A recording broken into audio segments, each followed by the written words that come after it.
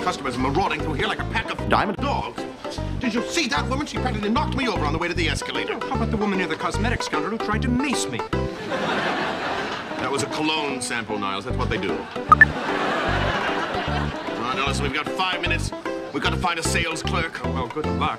Oh, wait there. We got to find something ourselves, I guess. Well, hey, hey, this looks amusing. Oh, Niles, please, may I remind you we're looking for Earthbound.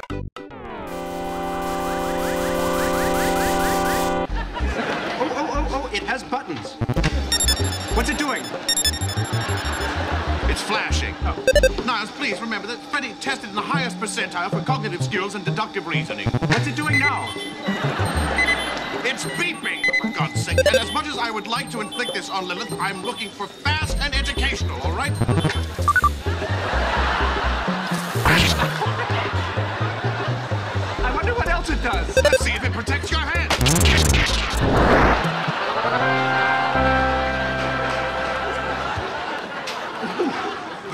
Here's something. Wait, wait.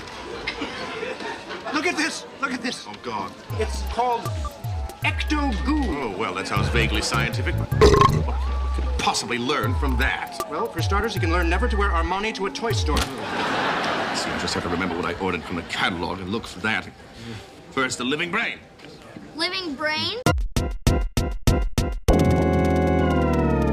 What kind of dork wants that? With any luck, the kind of dork who'll be operating on your prostate someday.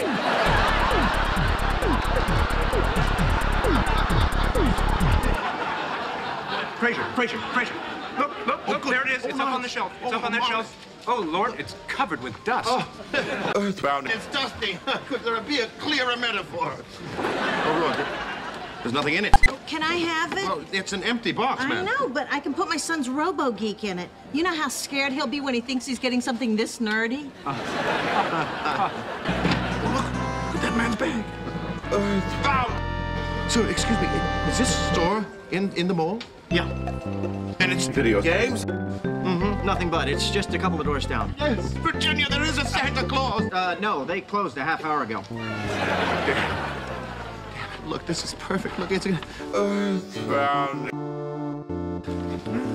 You know, my son comes in in half an hour and I have absolutely nothing for him. He'll be in in 22 minutes if he picks up a good tailwind. You, uh, you really need this stuff bad, don't you? You have no idea. It, it would save my life. I'll tell you what. Seeing as how it's Christmas, Oh, God bless you, sir. a thousand bucks. What? A, a thousand bucks? Hey, take it or leave it. Well, I mean, there's just uh, no more than hundred dollars worth of things here. Ladies and gentlemen, we're beginning our descent into the Seattle airport. I'm just trying to do you a favor here. Well, it's some favor. Please make sure your tray tables and seat backs are in their full upright and locked position. Shut up, Niles. All right, all right. Let's let's see what I've got here. It's, uh, all right, look, I've, I've got. Uh, here's three hundred dollars. Would you would you accept a personal check for the rest? Hey, it's Christmas. Oh, bless you, bless you so much. Very well, thank you. Hey, baby, I hear the blues are calling. Toss salads and scrambled eggs. Oh, my. And maybe I seem a bit confused. Well, maybe, but I got you pegged. but I don't know what to do with those tossed salads and scrambled eggs. They're calling again. Frasier has left the building.